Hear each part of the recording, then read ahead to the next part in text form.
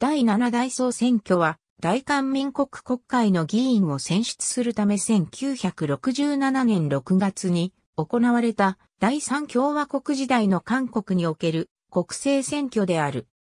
韓国では大会ではなく大々と選挙回数を数える。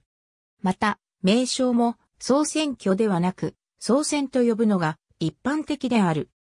出展、韓国中央選挙管理委員会の歴代選挙情報システムより引用11政党の候補が立候補したが、第3党の当選者は大衆党の1名のみで民主共和党と新民党の2大政党がほとんどの議席を占める結果となった。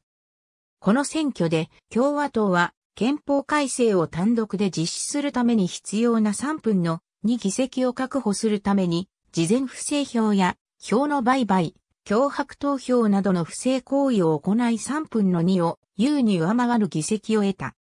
対する野党、新民党は都市部では優位に立ったが、農産村部では軒並み共和党に敗北する結果となった。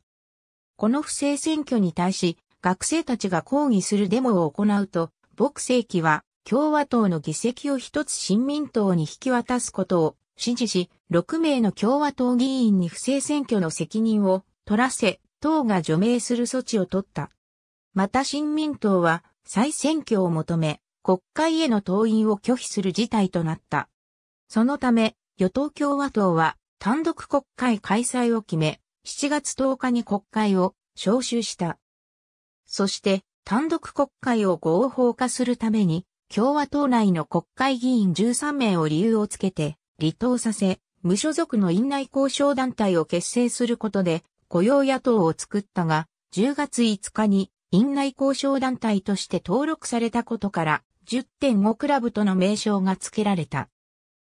その後、11月6日に与野党全権代表者会談を開催し、僕大統領の鎮会発言によって不正選挙の事実を認め、謝罪したものとみなす不正選挙区の再選挙や関係者の隕石問題は特別委員会で審議する単独国会は既成事実としてその国会で処理された案件は特別国政監査をもって追認、選挙不正の再発防止のための保障立法を行うこと等で合意し、11月29日に新民党所属の国会議員は国会に登院した。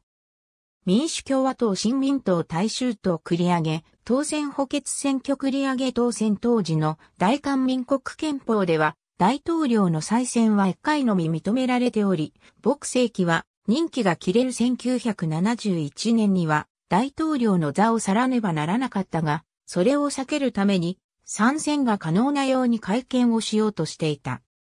史上最悪不正選挙野党6.8総選、球団団党は日報1967年6月9日付一面、無法、暴力公明選挙全景三面不正選挙について球団する記事が掲載されている。